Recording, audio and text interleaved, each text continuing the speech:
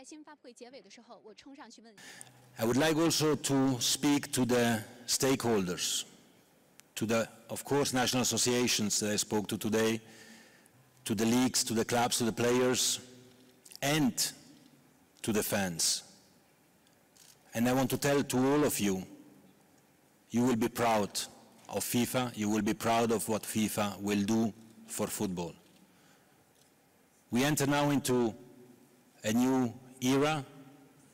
It was uh, today an important Congress, an extraordinary Congress, where some reforms have been approved, some groundbreaking reforms, and where a president has been elected who certainly can and will implement all these reforms in order to make sure that the image and reputation of FIFA will come back to where they belong.